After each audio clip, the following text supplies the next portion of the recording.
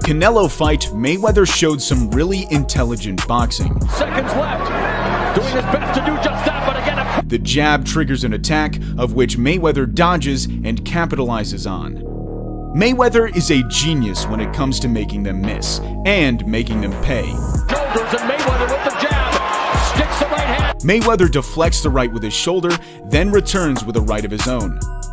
Mayweather's right hand often lands when his opponents least expect it. Mayweather always manages to land it with pinpoint accuracy. That was 25 times where Floyd Mayweather showed genius ability. We hope you enjoyed it, and if you did, consider giving it a like as it helps us grow the channel.